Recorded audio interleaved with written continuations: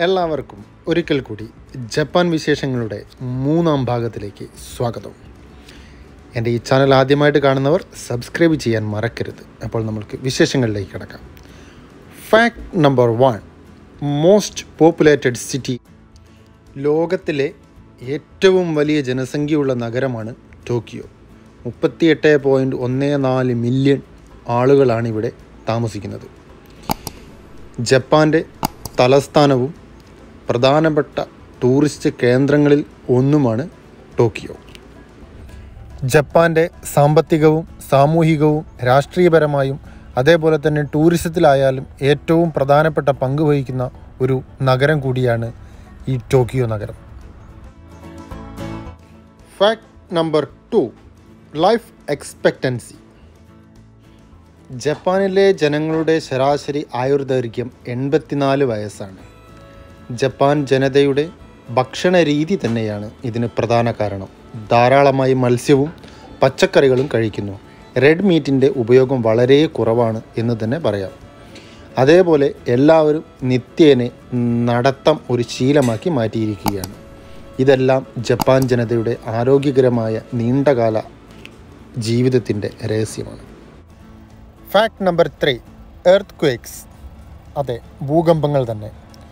ഒരു വർഷം ആയിരത്തി അഞ്ഞൂറിന് മുകളിൽ ഭൂകമ്പങ്ങൾ ജപ്പാനിൽ ഉണ്ടാവുന്നുണ്ട് എന്നതാണ് കണക്ക്. Pacific North American Eurasian Filipino എന്നീ നാല് വ്യത്യസ്ത ടെക്ടോണിക് പ്ലേറ്റുകൾക്ക് മുകളിലും സമീപത്തുമായാണ് ജപ്പാന്റെ സ്ഥാനം. ലോകത്തിലെ സജീവമായ ഭൂകമ്പങ്ങളുടെ പ്രഭവ കേന്ദ്രമാണ് ഇവിടെ വളരെ ചെറിയ രീതിയിലുള്ള ഭൂകമ്പങ്ങൾ അനുഭവപ്പെടാറില്ലെങ്കിലും വളരെ മാരകങ്ങളും അതിഭയങ്കരവുമായ പല ഭൂകമ്പങ്ങൾക്കും ജപ്പാൻ വേദിയായിട്ടുണ്ട്. അതിന്റെ പല സ്മാരകങ്ങളും ജപ്പാനിൽ പല സ്ഥലങ്ങളിലായിട്ട് നമ്മൾക്ക് കാണാവുന്നതാണ്. Fact number four under water post box കേൾക്കുമ്പോൾ തന്നെ അത്ഭുതകരമായ ഒരു സംഭവമാണിത്. വക്കയാമ പ്രിഫെക്ചറിലെ പ്രശസ്തമായ മത്സ്യബന്ധന പട്ടണമായ സുസമിയിലാണ് ഏറ്റവും ആഴമേറിയ അണ്ടർ വാട്ടർ പോസ്റ്റ് ബോക്സ് സ്ഥിതി ചെയ്യുന്നത്. ഇത് രണ്ടായിരത്തി രണ്ടിൽ ഗിന്നസ് വേൾഡ് റെക്കോർഡിൽ രേഖപ്പെടുത്തിയിട്ടുമുണ്ട്.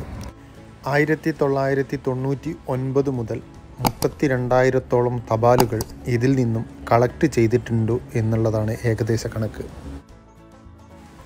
Fact number five highway in building. ജപ്പാനിലെ ഹൈവേകളെല്ലാം എന്നും എനിക്ക് അത്ഭുതമാണ്. അത്രയ്ക്ക് മനോഹരമായാണ് ഇവയുടെ എല്ലാം നിർമ്മിതി. അതിനിടയിലാണ് എന്റെ കണ്ണിൽ അല്ലെങ്കിൽ എന്റെ അറിവിൽപ്പെടുന്നത് ഒരു ബിൽഡിങ്ങിനിടയിലൂടെ ഹൈവേ പോകുന്നുണ്ട് എന്ന്.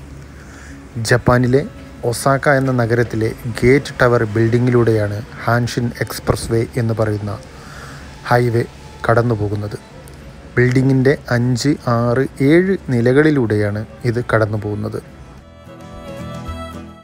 എന്നാൽ ഹൈവേ കടന്നു പോകുന്നതിന് സമീപത്തുള്ള മുറികളെല്ലാം സൗണ്ട് പ്രൂഫ് ആയതുകൊണ്ട് അതിനുള്ളിൽ ഉള്ളവർ ഇതിന്റെ ശബ്ദം കേൾക്കുവാൻ സാധിക്കുന്നില്ല. അതുമാത്രമല്ല ഹൈവേ ബിൽഡിങ്ങിനുള്ളിലൂടെ ആണ് പോകുന്നതെങ്കിലും ഇത് ബിൽഡിങ്ങിൽ ടച്ച് ചെയ്യാത്ത രീതിയിലാണ് നിർമ്മിച്ചിരിക്കുന്നത്. ഇത്തരത്തിലുള്ള അനവധി അതിമനോഹരങ്ങളും അത്ഭുതപ്പെടുത്തുന്നതുമായ ഒരുപാട് വിശേഷങ്ങൾ നിങ്ങളുമായി പങ്കുവയ്ക്കുവാനുണ്ട്. ഇന്നത്തെ വിശേഷങ്ങൾ ഇവിടെ തീരുന്നു.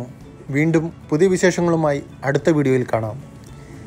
ഈ വീഡിയോ നിങ്ങൾക്കിഷ്ടമായാൽ ലൈക്ക് ചെയ്യുക ഷെയർ ചെയ്യുക കൂടുതൽ ആളുകളിലേക്ക് എത്തിക്കുക.